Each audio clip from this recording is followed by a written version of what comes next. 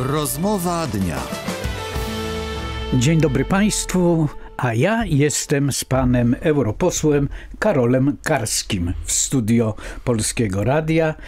E, panie pośle, e, jakby pan określił to hasło, bo tak ono mi wygląda na to, o czym zresztą chyba wspomniał e, pan Jarosław Kaczyński w uzasadnieniu, tak jakby to hasło oddawało w gruncie rzeczy te cztery hasła, cztery pytania referendalne.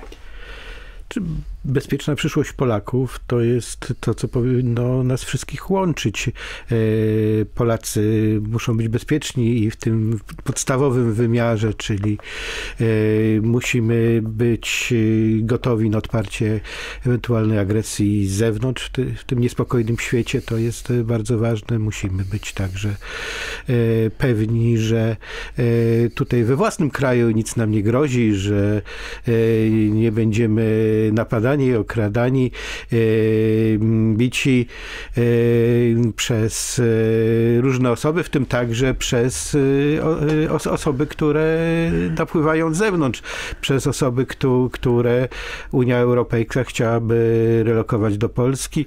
To także bezpieczeństwo ekonomiczne, czyli ta stabilność życia, pewność tego, że mm, polskie rodziny będą mogły się utrzymać, będą wspomagane przez państwo. Y, tutaj jest y, no, szereg aspektów, no, ale tak jak y, no, no, z punktu widzenia państwa, no to pierwszą podstawową funkcją państwa, taką opisywaną wręcz podręcznikowo jest to, aby zabezpieczyć to właśnie co podstawowe, bezpieczeństwo we, we, wszystkich, we wszystkich e, sferach. Państwo chroni swoich obywateli e, poprzez właśnie działania różnego rodzaju e, pozytywne, poprzez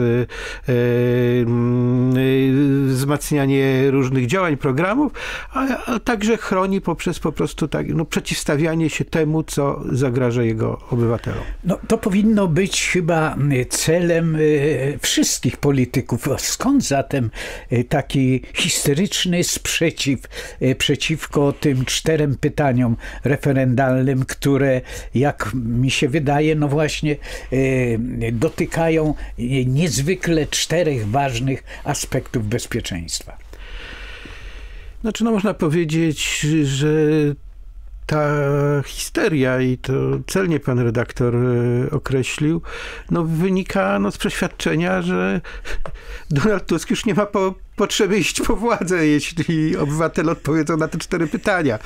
No, a już no, nie, da, nie, da, nie da się rozdać, e, czy e, przekazać, czy sprzedać polskiego majątku narodowego, już nie da się, już nie, nie, nie da... Nie, nie da się nie rozparcelować da się Orlenu. Nie da, nie, nie, nie, da, nie da się sprowadzić na prośbę swoich przyjaciół z Niemiec nielegalnych migrantów. Nie da, nie da się, nie, nie da się zrobić wielu innych rzeczy, które tradycyjnie kojarzone są z działaniem rządu PO-PSL. Przecież to nie są abstrakcyjne pytania. E, one nie wynikają z tego, że ktoś sobie wymyślił, że tak może być lub nie. To można powiedzieć, że to referendum ma mieć e, e, spełniać pełne zadanie gwarancyjne, że żaden przyszły rząd, jakikolwiek on by nie był, nie będzie w stanie zrobić tego, co jest, co jest tam opisane. My wiemy, że, że, że Polacy są przeciwni tego typu działaniom opisanym w tym, tych pytaniach referendalnych tylko co z tego, kiedy był już jeden rząd, rząd Donalda Tuska, potem Ewy Kopacz, który wiedząc, że Polacy tego nie chcą, dokładnie to robił. No właśnie. Y, także to unieważnienie przez pana Donalda Tuska to jest chyba takim, takim próbą e, wygaśnięcia czegoś, co e, Donald Tusk e, spostrzega jako istotne zagrożenie dla siebie w trakcie wyborów. Czy możemy w tej chwili obserwować no, reakcję nie tylko histeryczną, ale no wręcz taką no, spazmatyczną. Znaczy, Platforma nie potrafi się zachować w tej sytuacji. oni zostali po prostu obnażeni. Y, nie tylko tym, co robili, bo wiadomo, że to robili, ale także tym, że ludzie mają odpowiedzieć, czy komukolwiek w tym także im, gdyby jakimś przypadkiem doszli kiedykolwiek do władzy, będzie wolno takie rzeczy powtórzyć. Y, wszyscy, w tym narody, uczą się na swoich błędach. Y, kiedyś no, Donald Tusk został wyniesiony, zaufano mu. Potem Polacy dali mu czerwoną kartkę. Panie profesorze, wczoraj także Sejm podjął uchwałę w sprawie obcej ingerencji w proces wyborczy w Polsce. Ta sprawa również jest i wykpiwana i krytykowana przez całą opozycję. Czy to jest uchwała no, posiada treść bardzo oczywistą. We współczesnym świecie mamy do czynienia z wieloma ingerencjami w procesy wyborcze.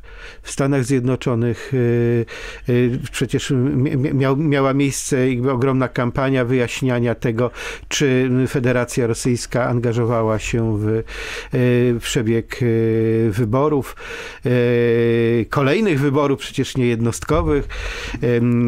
Także tutaj widzimy na forum europejskim e, Federacja Rosyjska ma e, wręcz przeznacza określone środki na wpływanie, e, na kształtowanie opinii publicznej na terenie mm, Unii Europejskiej.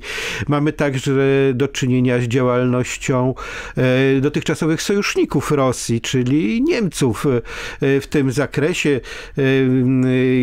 Niemcy przecież też no, formują swoje oczekiwania i to yy, nie tylko oczeki, nie, nie tylko takie, no, które polegają na składaniu jakichś tam życzeń, czy wyrażaniu jakichś tam yy, kurtuazyjnych yy, zapewnień, ale, ale no, mamy do czynienia z jednym z liderów Europejskiej Partii Ludowej. No najpotężniejszej Niemcem, chyba w Unii. Który, który mówi o stawianiu zapory ogniowej i y, mówi to w dniu, w którym miało miejsce jedna z największych niemieckich zbrodni y, w czasie II wojny światowej. W zasadzie y, rzeź woli, tak? No 50 tysięcy ludzi zgładzonych w ciągu kilku dni. To jednorazowo to jest jedna z największych operacji zbrodni na ludności cywilnej w czasie II wojny światowej.